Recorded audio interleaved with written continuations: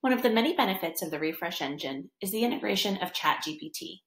Let me show you how to take advantage of that within the portal. There are two ways to access the ChatGPT feature within the Refresh engine. The first way is to select the Engage button on the left-hand side. This page will show you the four pre-written prompts that we have included for you, as well as the new chat feature, which allows you to write your own prompt. Select the prompt that you'd like to use. When you access the ChatGPT this way, you'll need to enter in an address of the property you're interested in. Select the correct address from the dropdown.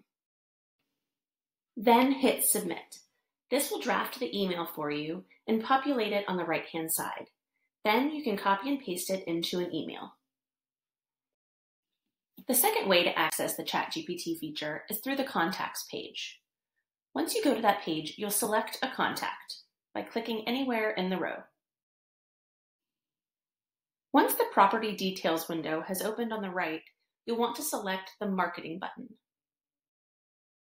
This marketing button will pull up the same four pre-written prompts as before, as well as the new chat feature. Select the one that you'd like to use. By using the ChatGPT feature in the Contacts page, it will automatically pull in the contact's name and address. From there, you can copy and paste it into an email. Great, now you know how to use the ChatGPT function of the Refresh engine. If you need some inspiration or some information on how to write your own prompts, we have several playbooks available.